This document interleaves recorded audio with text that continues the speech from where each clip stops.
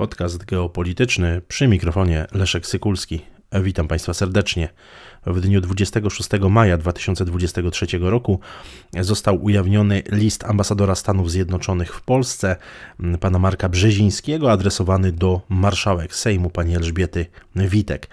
Ten list miał zostać wysłany 23 maja. Wśród adresatów oprócz marszałka Sejmu był także marszałek Senatu, Kancelaria Prezydenta RP, Biuro Bezpieczeństwa Narodowego, minister obrony narodowej, minister spraw zagranicznych oraz Ministerstwo Aktywów y, Państwowych.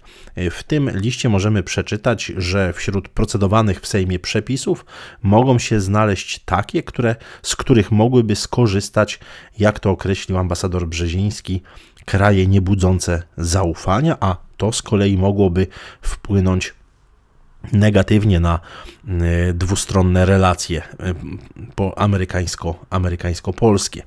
E, jako pierwsze medium mm, przedstawiło całą treść tego, tego listu, przedstawiła Gazeta, Gazeta Wyborcza. Mm, nie wiemy mm, tutaj jakie kontrakty zawarte przez Polskę y, rząd Stanów Zjednoczonych y, upatruje jako, czy uznaje jako niebezpieczne dla naszego bezpieczeństwa, dla bezpieczeństwa wojsk amerykańskich, czy w ogóle dla bezpieczeństwa Sojuszu Północnoatlantyckiego.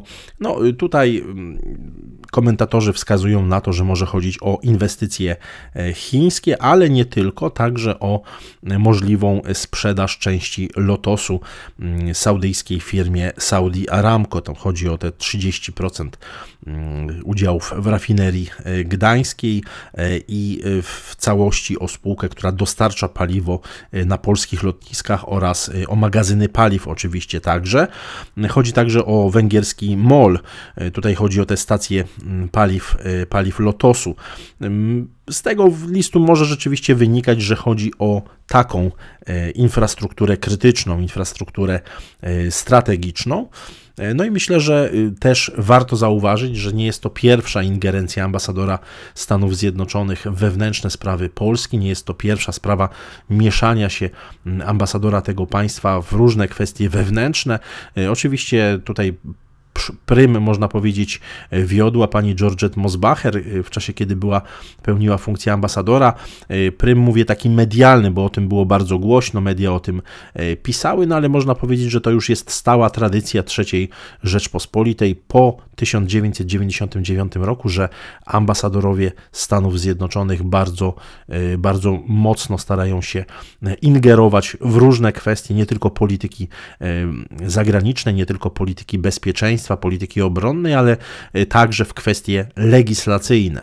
I tutaj dobrą ilustracją, mm, no, można powiedzieć, podległego mm, stosunku po Polski wobec Stanów Zjednoczonych, traktowania Polski po prostu jako wasala, jest e, pewien fragment tego e, listu, gdzie ambasador amerykański wprost daje zalecenia, szanowni państwo, zalecenia dla rządu e, polskiego.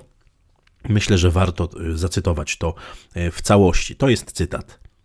Zalecamy, by polski rząd rozważył wdrożenie konsultacji międzyresortowych, w które włączone byłoby Ministerstwo Obrony Narodowej we wszystkich umowach dotyczących wieczystej dzierżawy czy własności na obszarze infrastruktury krytycznej. To szczególnie ważne dla tych umów, które wiążą się z ryzykiem dla bezpieczeństwa narodowego i bliskością takich obiektów jak lotniska, porty morskie, przedsiębiorstwa pracujące dla przemysłu zbrojeniowego oraz magazyny.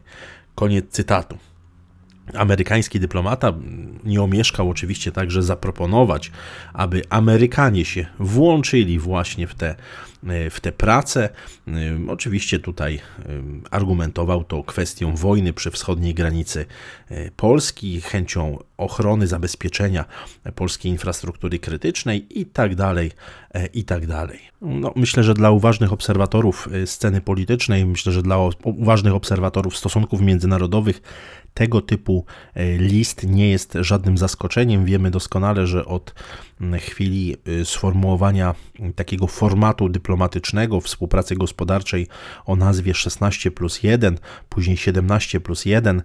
Mówimy tutaj o formacie Chiny plus partnerzy chińscy gospodarczy w Europie Środkowo-Wschodniej. Ten format rozpoczął się w 2012 roku, 16 plus 1, później w 2019 roku rozszerzony o Grecję 17 plus 1, obecnie skurczony do formatu 14 plus 1.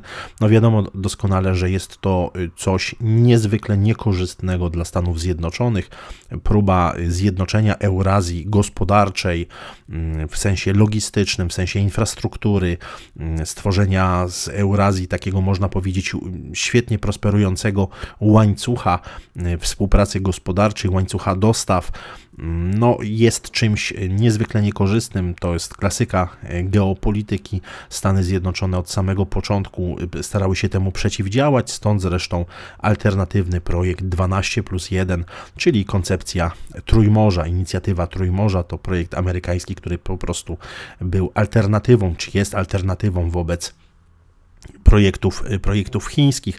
Amerykanie starają się ze wszechmiar y, no, przeciwdziałać koncepcji tak zwanego nowego jedwabnego szlaku, inicjatywie y, pasa i drogi, która została zainaugurowana pod koniec 2013 roku przez Xi Jinpinga i robią to na bardzo wielu płaszczyznach. Polska jest niezwykle istotnym elementem, takim powiedziałbym geograficznym zwornikiem szlaków handlowych w Eurazji na osi wschód-zachód i północ-południe. Stąd nie, oczywiście nie ma się co dziwić, że zarówno Chińczycy byli bardzo zainteresowani w tym, aby budować tutaj huby logistyczne, mm, chociażby pod Łodzią, czy, mm, czy rozwijać koncepcję nowego bursztynowego szlaku na osi północ-południe.